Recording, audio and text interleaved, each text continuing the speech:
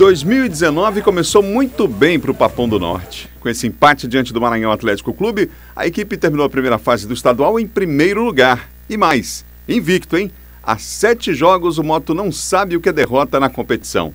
Será que tem algum segredo para alcançar esse desempenho? Acho que é trabalho, né, cara? Trabalho, o grupo todo se doando, com, como eu falo, nosso grupo é, é um grupo simples, humilde, mas que se doa e se ajuda muito.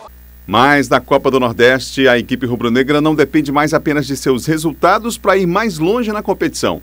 O Moto é o lanterna do Grupo B e sábado tem um jogo decisivo diante do Fortaleza. Os jogadores garantem que disposição e garra, olha, não vão faltar. O mais importante é a gente fazer o nosso dever, o nosso papel diante da nossa torcida, contra uma grande equipe do Fortaleza, né? Mas sabedor que a gente tem uma equipe hoje coesa, uma equipe firme, uma equipe que joga equilibrada, bem postada. Esperamos fazer um grande jogo e, consequentemente, buscar a vitória. O técnico Wallace Lemos ainda tem dúvidas do time que vai mandar a campo e terá pelo menos dois importantes desfalques. O zagueiro Alisson cumpre suspensão depois de pegar o terceiro amarelo e o volante Lucas Huck, que se recupera de lesão e ainda não está 100% para o jogo.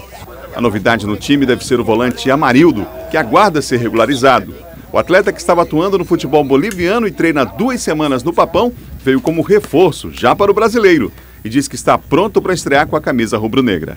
Sempre preparado, sempre à disposição, não só do professor, é, como de todos os meus companheiros, que dentro de campo também vai poder me ajudar muito.